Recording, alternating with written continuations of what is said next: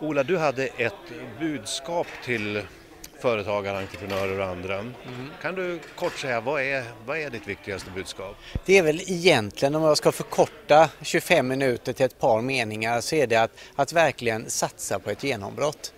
Att satsa på att öka hastigheten i att nå ut på marknaden med de här produkterna, nå ut till andra delar av världen.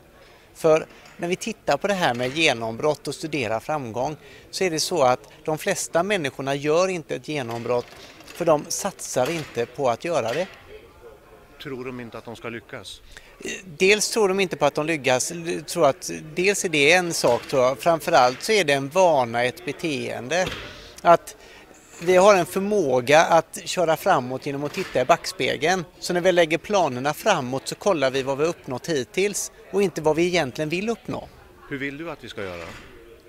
Jag vill att alla här inne ska ta de målen de har och sen ska de lista ut hur de kan göra dem dubbelt så stora och på halva tiden.